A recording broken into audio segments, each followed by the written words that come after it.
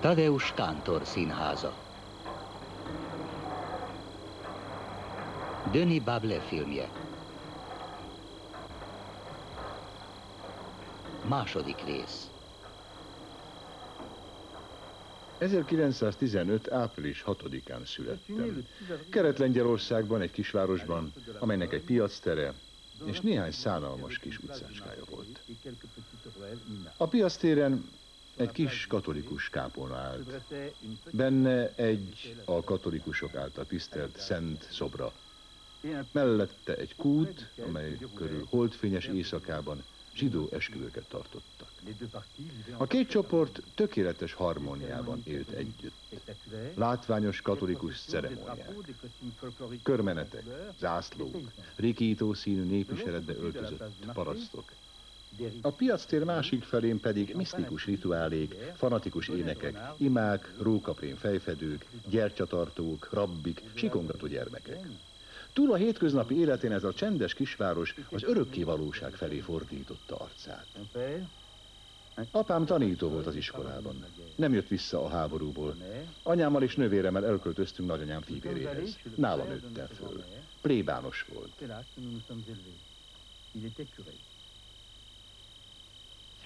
Egy rizssel teri zsákon egy fiatal nő arcképe. Egy másik rizses zsákon ugyanaz a nő megöregedve. Hat zsákon egy koporsó formájú ládában Tadeusz Kántor édesapja életének hat állomása. Egyik alkotása anyám portréja 1976. Egy elsárgult régi fényképen baloldal Tadeusz Kántor apja bevonulásának előestéjén. Egy fénykép, amit Kántor végig magával hordott a Vielopole Vielopole előkészületei alatt. pendant la préparation de Vielopole Vielopole.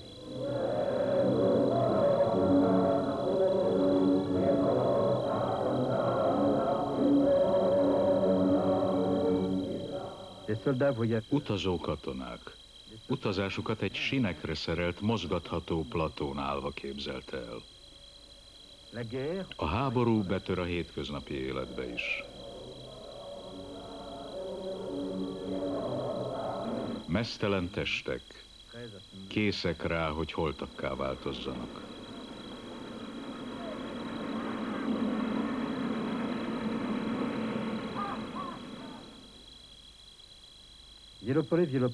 A Vielopole Vielopole nagy lélegzetű alkotás a helyszínek természetéről, a szoba konkrétságáról, az előszoba metaforájáról, a mindennapi életről, és a legalacsonyabb szintre süllyedt családról.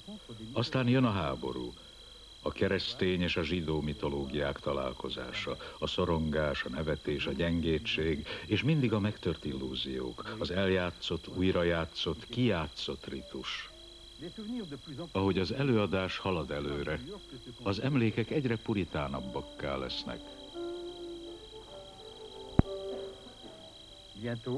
Hamarosan eltűnnek a falak. És felrémlik a múlt foszlányaiból egy asztal, egy kereszt, keresztek, egy csontvásszerű ablak, egy dupla ajtó, mint egy pajta bejárata, egy forgó ágy,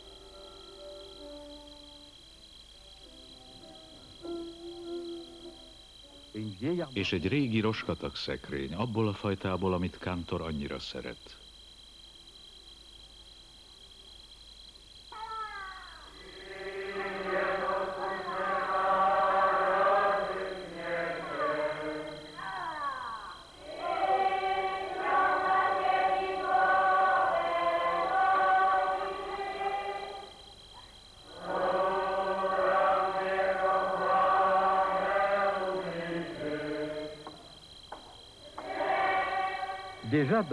Már a halott osztályban a biciklis kisöreg használ egy régi divatja múlt fényképezőgépet, hogy megörökítse vele azokat, akik készek belépni a történelembe. A Vielopole Vielopole leírásában Kantor ezt írja. Monsieur Daguerre felfedezésének igazi funkciója a háború. Íme a fényképésznő, aki fel tudja öltöztetni a halottakat. A gépe egy különös kerekeken guruló szerkezet, minden eleme fémből van. Primitív, nevetséges ócskasság, a halálból ha piacáról, mégis milyen nyugtalanító.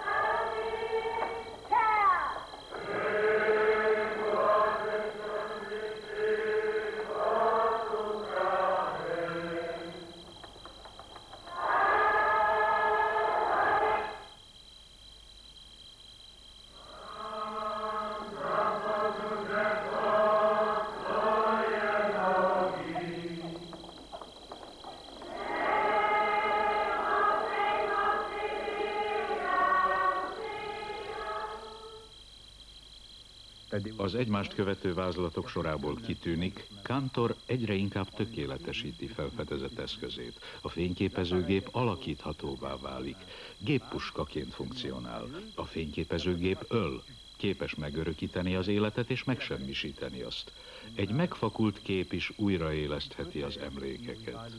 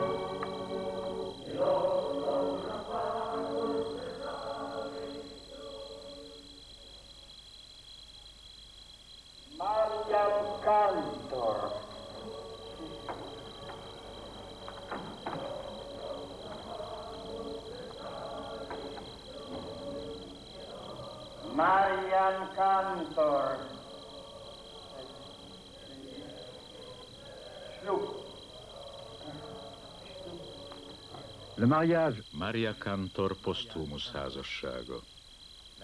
Köznapiság, ritus és halál. Feltámadnak a halottak, csak azért, hogy még egyszer átéljék a múltat, hogy aztán újra hagyják visszadobni magukat a halálba. A dróton rángatott ember és a gyengétség, az élet határai.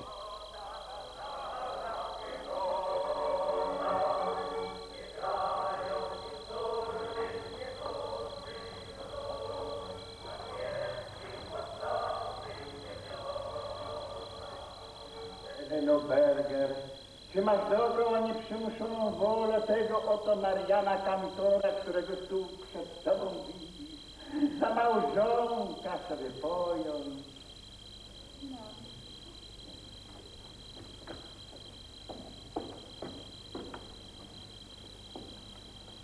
Ja, Marian Kantor, biorę sobie ciebie, Heleno Berger, za małżonkę i ślubuję ci wiarę, uczciwość i posłuszeństwo, a życie nie opuszczasz do śmierci. Tak mi dopomóż, Panie Boże Wszechmogący, Trójcy Święty Jedyny i wszyscy święci.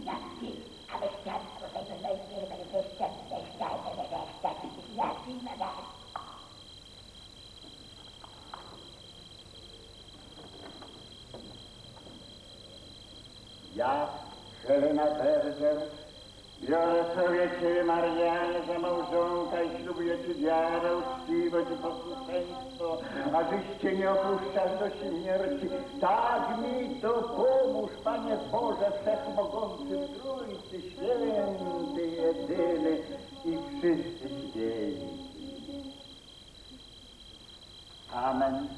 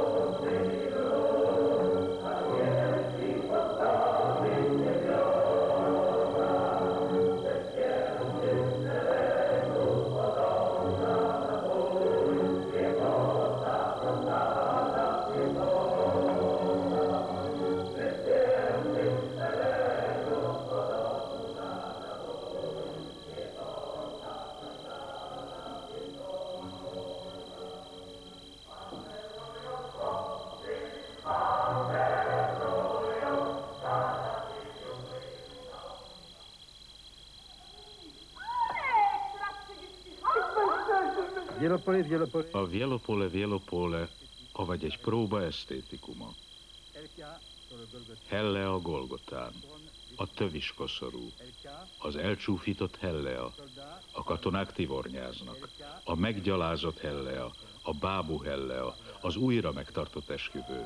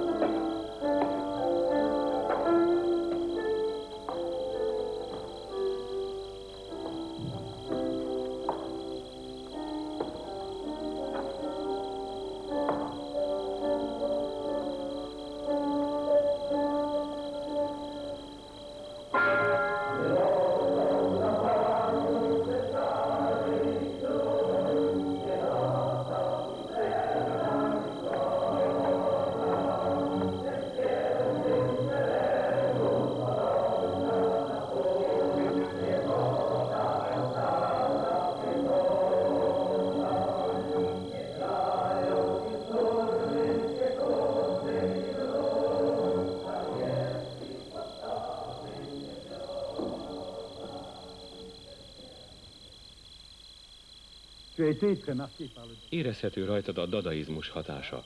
Másfelől ma az érzelem színházáról beszélsz, sőt az érzelmek konstruktivizmusáról.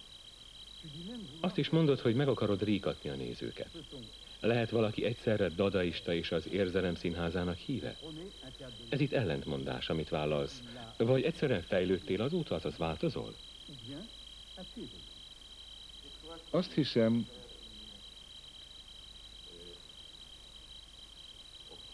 az idők folyamán korrigálni kell a dadaizmusról kialakult fogalmakat.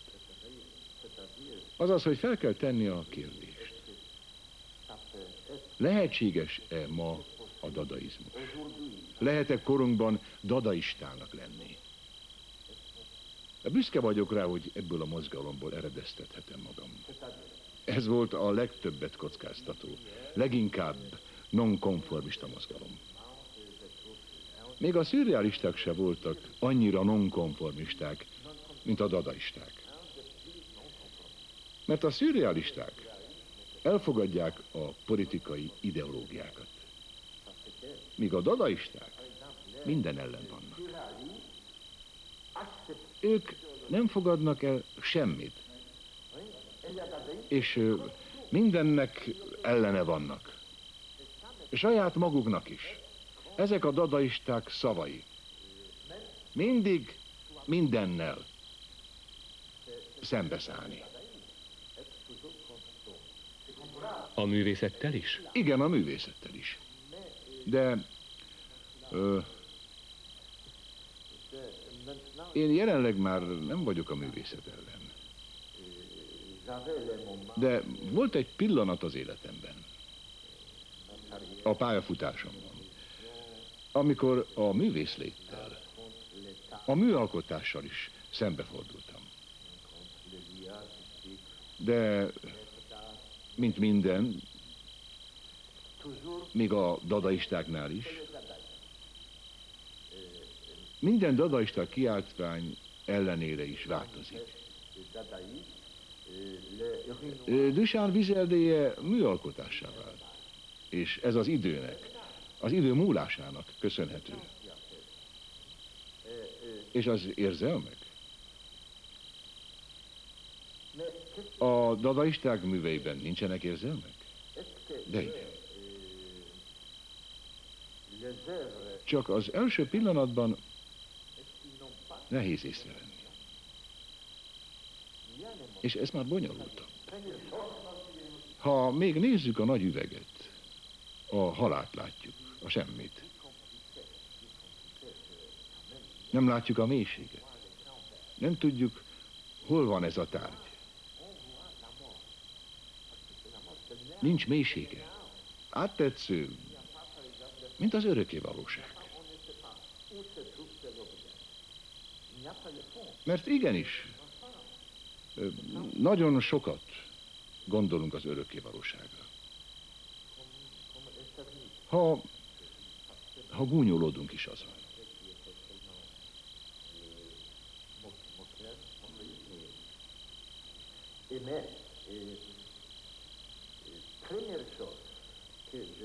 Az első, ami megfogott a dadaizmusban, az, ami valószínűleg az én személyiségemben is megvan.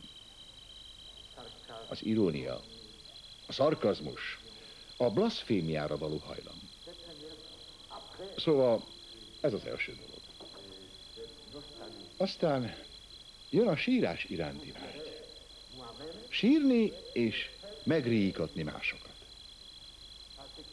Mert a művészet lényege szerintem az ellentmondásokban van. Én csak az ellentmondásokat fogadom el.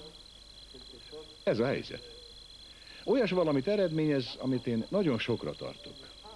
A feszültséget. Vagyis nem annyira érzelemről van szó, hanem inkább a feszültségről, és a feszültségtől is sírhat az ember. Most, ha a Vialopolé Vialopoléban nem lenne feszültség, pusztán csak a pap halálán senki sem sírna. És mégis sírnak. Vajon miért sír az a sok ember? Vannak mozzanatok a Vialopolé Vialopoléban, amikor a nézők sírni kezdenek. Ezek a mozzanatok az élet pillanatai. Például a pap halála, ami ugyanakkor annyiban komikus, hogy nevetni is lehet rajta. Véleményem szerint e pillanatok feszültsége olyan erős, hogy vagy sírni, vagy, vagy nevetni kell rajta.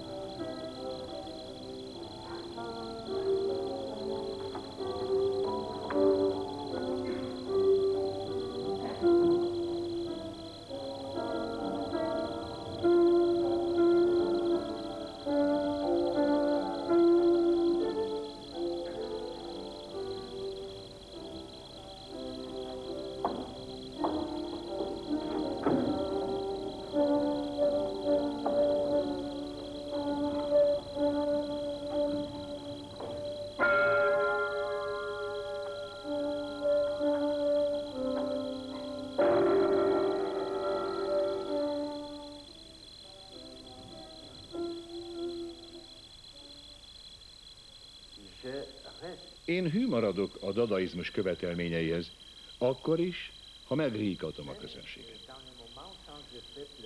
Úgy vélem, hogy az a pillanat is dadaista pillanat, amikor sírva fakadnak. Ez a szándék nem szentimentalizmusból fakad, amit a dadaisták mindig is elítéltek. Ez a szándék tisztán formai alkotóelemekből fakad. Azaz, én nem tagadom meg a tisztán formai mozzanatot. Mit jelent a tisztán formai?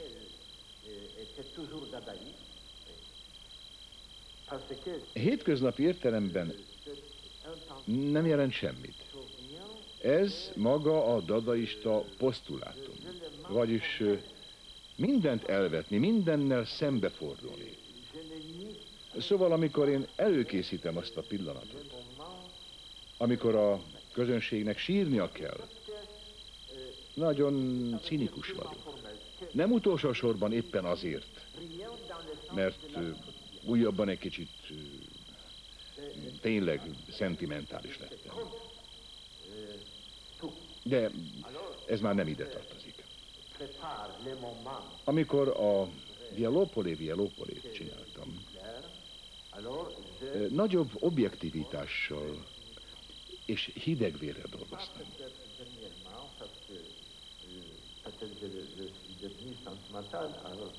Nem esztétikai, hanem formai értékekről van szó. Megtalálni a módját, hogy megríkassam a közönséget.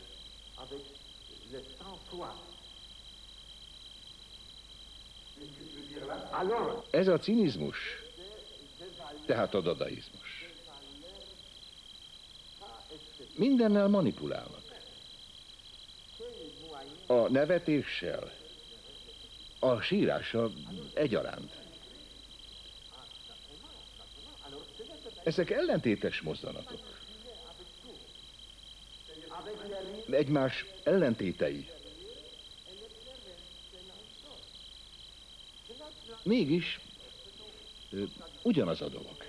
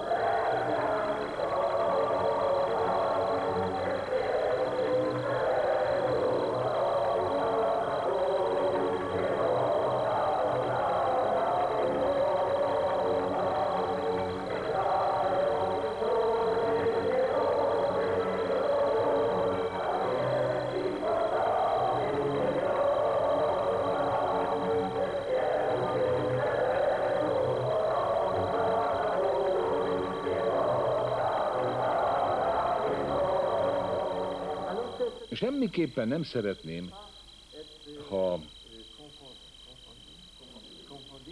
szentimentalizmussal vádolnának.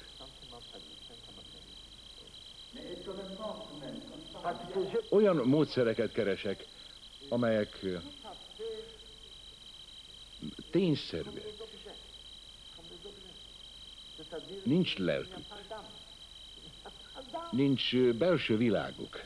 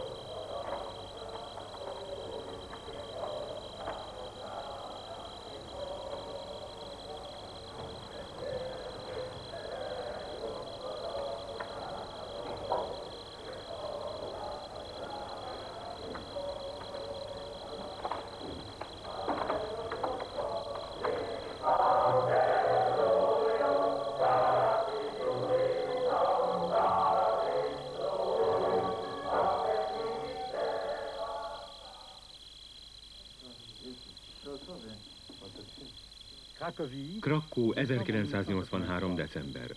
A Krikot Színház termében folyik Tadeusz Kántor új darabjának, a Dögöljetek meg művészeknek első próbája.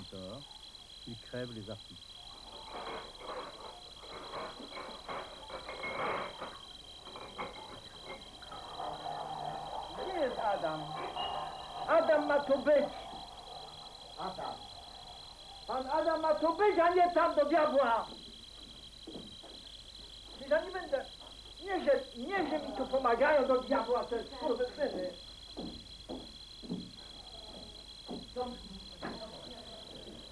Już. No dobrze, ale to ja się denerwuję. Powiedziałem, mają tutaj być na moje e, rozkazy.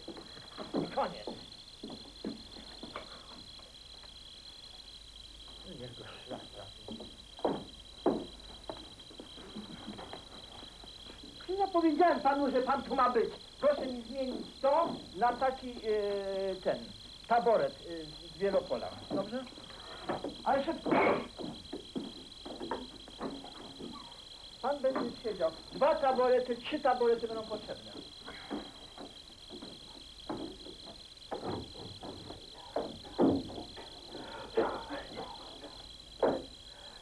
Teraz byś mogła wziąć to, tę poduszkę. No patrzcie teraz na nią, co ona robi. Weźcie tę poduszkę, ale poduszkę to jest normalnie. Ale nie wiesz, co z nią robić. Zaraz, zaraz, zaraz, zaraz, zaraz, zaraz, nie, nie, nie. A, nie umiesz.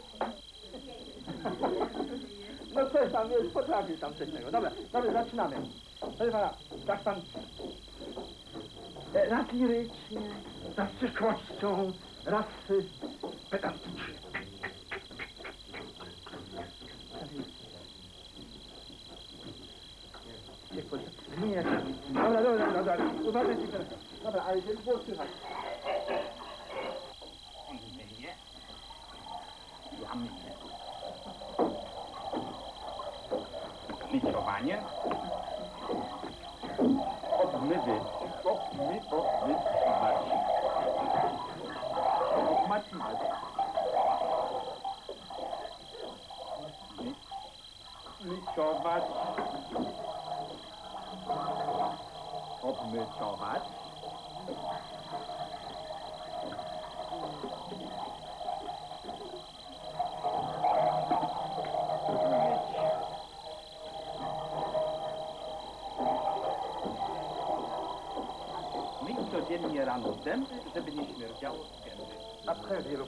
A Vielopole Vielopole után új darabra készülsz.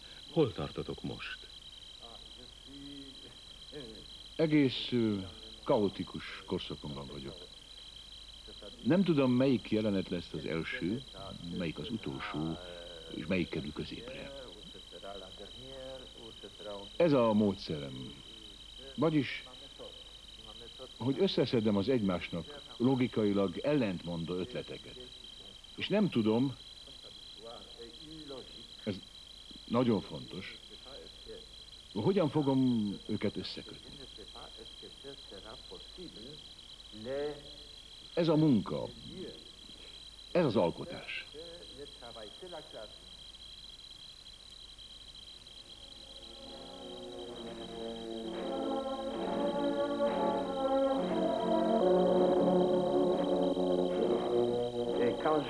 Amikor előkészítem az előadást, azaz amikor gondolkodom rajta, órákon át ugyanazt a zenét hallgatom.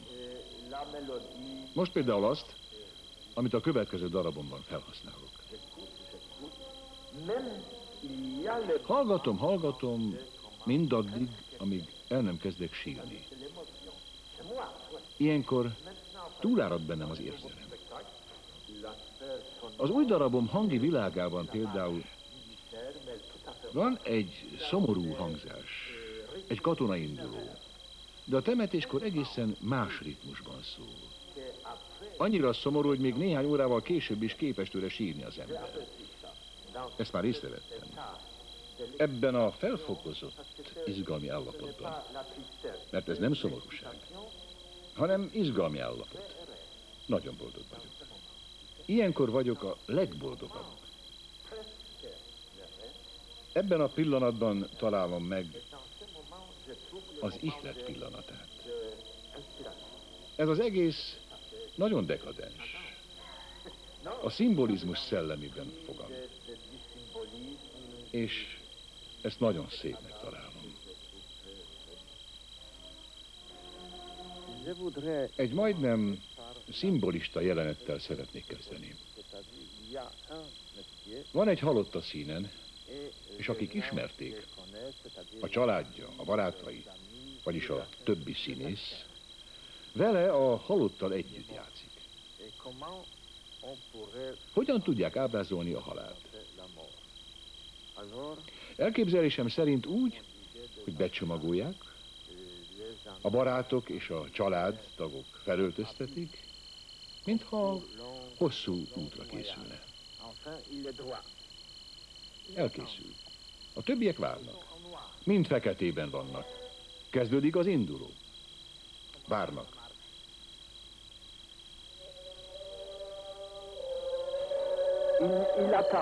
A halott tehetetlen, nem mozdul többé. Mint egy bábú. Rettenetes, borzalmas így becsomagolva. A többiek várnak, ez a lényeg. A várakozás. Egyszer csak megemelik a kalapjukat, ő pedig menetelni kezd ebben a ritmusban. A többiek még mindig várnak. És ez az a pillanat, amikor leveszik a kalapjukat. Az a pillanat olyan, mint a temetőben a nyitott sír előtt. És csak várnak. Ő elindul. Íme ő. Ez a szegény ember, amint elindul a hosszú útra. És menetel. Ez a 15 méter 3-4 percig tart. Utána a figura eltűnik. Két perc múlva újra megjelenik. Ez az elképzelésem. Minden színésznek, mivel művész, meg kell dögölnie.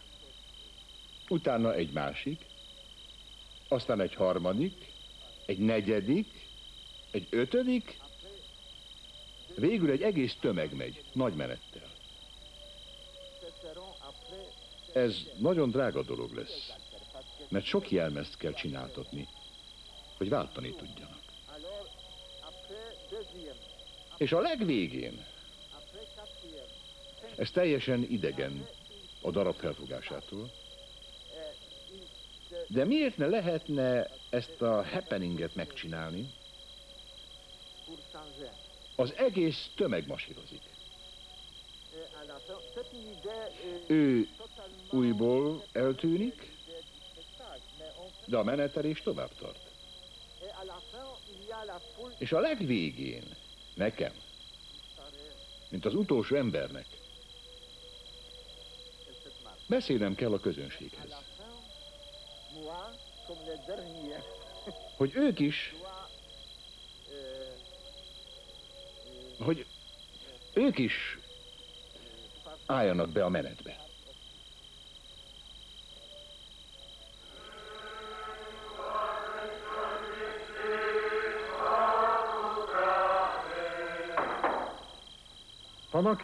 Mi alatt tovább folytatódnak a munkálatok az új darabon, a Vielopole Vielopole eljut az utolsó vacsora jelenetéig. Távolról nagyon emlékeztet Leonardo festményére, de itt a főfalak körül nem az evangéliumi történet szereplői ülnek, hanem mint egy happeningben az élők és a holtak. A mitoszok, a keresztek és a háború az ember nyomorúsága. Egy ritus, amely talán nem nevetséges. Egy fehér terítő leterítve két silány deszkán, és minden egyes estén precízen össze lesz hajtogatva. Ebben talán benne rejlik a reménység is, de mindenképp benne van a szorongás, még akkor is, ha a humor ezt aláaknázza.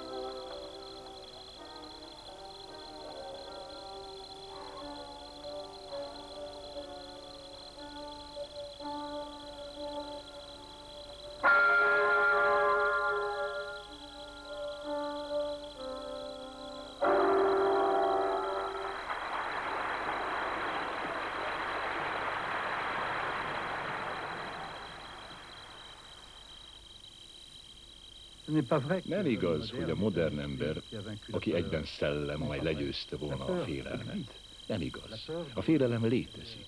Félelem a külvilágtól, sorsunktól, félelem a végzetünktől, félelem a haláltól, az ismeretlentől, félelem a semmitől, az ürességtől. Nem igaz, hogy a színész hős vagy vakmerő, rettenthetetlen, hódító, ahogy a konvencionális legenda feltünteti.